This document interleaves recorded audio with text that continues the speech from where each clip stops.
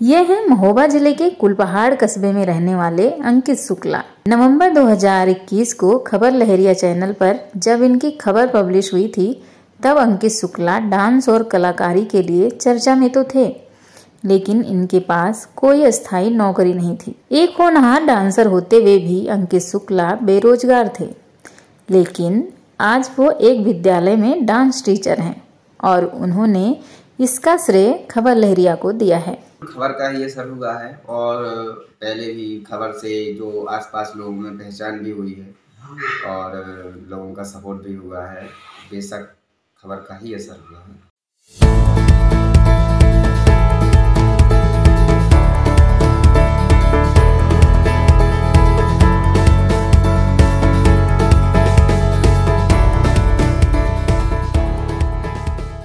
इस समय मैं R P S Shri Ram Ratan Bhumesh Kumar public school में एज अ डांस टीचर के रूप में वहाँ नियुक्त हूँ।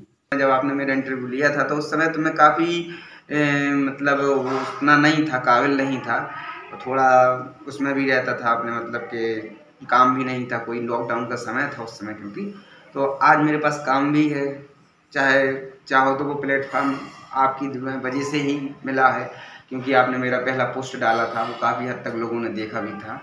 तो मैं तो ये मानता हूँ कि सोशल मीडिया कलाकारों को बढ़ाने के लिए एक बेस्ट प्लेटफॉर्म है, जैसे कि खबर लहरिया मैन, जो छोटे छोटे कलाकारों के भी वीडियो अपने चैनल पर डालकर उन्हें आगे बढ़ाने का एक बड़ा मौका देती है। छोटी जगह है या छोटी जगह में नज़रअंदाज ही लोग हो गया करते हैं। एक से एक गायक भी यहाँ हैं तो मैं देखो बुंदेलखंड की धरती पे कितने कलाकार हुए हैं। कुछ गायक हुए हैं, कोई खेल में आगे है, कोई कुछ में आगे है। तो ज़्यादातर प्लेटफॉर्म किसी को मिलता नहीं है। बस इतना है कि कला से अगर वो चाहे तो कहीं गुजारा कर ले। यहाँ कुछ लोग शादी फंक्शनों में गाने जाते, बजाने जाते हैं।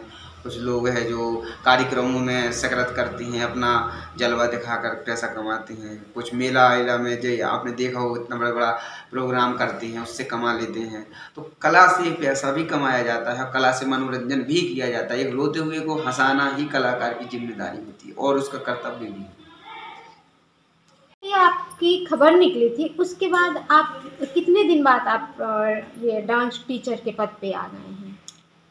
हाँ जो जब मेरा इंटरव्यू पहला लिया आपने तो उसके करीब तीन चार महीने बाद ही मेरा मेरा मतलब वैकेंसी निकली तो मैंने जैसे ही कॉल किया। तो इंटरव्यू वगैरह हुआ और मेरी जॉब तीन चार महीने के बाद लग गई थी। तो आप अपनी खबर यूट्यूब में देखा था? खबर लहरिया के कि फेसबुक में देखा था काहे में देखा था और कैसे देखा था आपने? मैं वैसे कि आप लोगों से जुड़ा हुआ हूँ तो आपकी सारी खबर मेरे पास आती है। आप जो भी पोस्ट करेंगे वो मुझे पता चल जाएगा। तो यूट्यूब पर भी मैंने देखा था और फेसबुक पर भी मैंने देखा था। मैं आप दोनों के माध्यम से आपसे जुड़ा हुआ हूँ। पहले मैं जब डांस करता या नाचता था तो लोग सोचते थे यार कितना? अरे बढ़ाना चाहिए है यार बहुत डांस करता रहे तुम्हारा लड़का तो नचता है और कुछ करता नहीं है। तो सब लोग हँसते हंसना हंसाना तो इस दुनिया का खेल है। एक दूसरे पर तो लोग बैठते हँसते हैं या फिर जलते हैं दो काम है। तो उसने ध्यान नहीं दिया अपने काम पर ध्यान दिया।